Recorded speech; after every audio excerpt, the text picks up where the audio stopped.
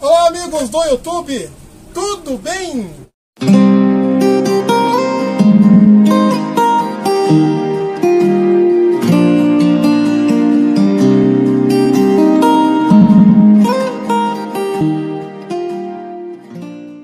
Estou aqui no meu sistema de criação de peixe em caixa d'água.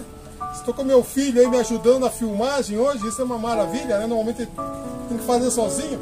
Eu tenho recebido muitas pessoas que me perguntam aí, Como é que faz o sistema, né? Então nós temos aí no Mercado Livre mostrando para vocês aí como é que nós fazemos o sistema, respondendo 50 perguntas e respostas também em nosso curso, né? Isso é muito importante. Muitos querem saber como é que controla o pH, como é que controla a amônia, como é que monta essas caixas que estão vendo aqui, essas caixas que estão aqui, né? Como é que faz esse pequeno sistema? Então, pessoal, é o seguinte, esse sistema aqui, com 2 metros, né, 2 metros e meio aí, no máximo 3, até menos, você consegue montar um sistema como esse aqui, ó. E consegue montar também eles em pequenos passos, né, é, em laje e assim por diante.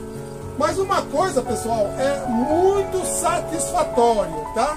É o resultado, né? O resultado dos teus esforços, né? O resultado ele é maravilhoso. E eu agora eu quero mostrar para vocês né, um pouco do resultado do meu trabalho também. Né? A gente tem aí trabalhado bastante aí no sistema de criação de peixe em caixa d'água. A gente tem mostrado para vocês aí o, como, como fazer, assim por diante, respondendo muitas perguntas e respostas. E agora eu quero que vocês vejam meus peixes, tá? Olha que coisa bonita, pessoal. Mas olha, é prazeroso e é gostoso. Sinta você um sistema desse na sua casa, no seu sítio. Olha só que coisa bonita! Eita! Mas é muito bonito demais.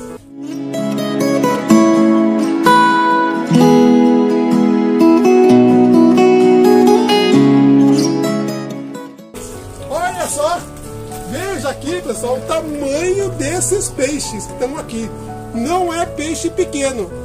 E olha, é peixes criado em caixa d'água. Pode ter certeza disso.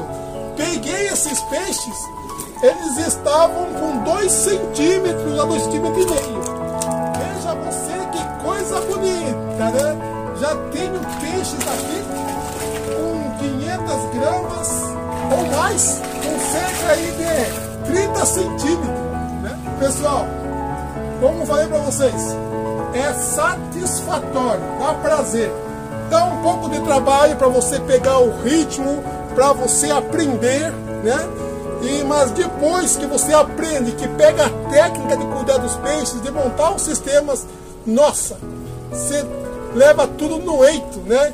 E o prazer é extraordinário. Espero que você também, você que está aí querendo fazer seu sistema, você se anime a fazê-lo.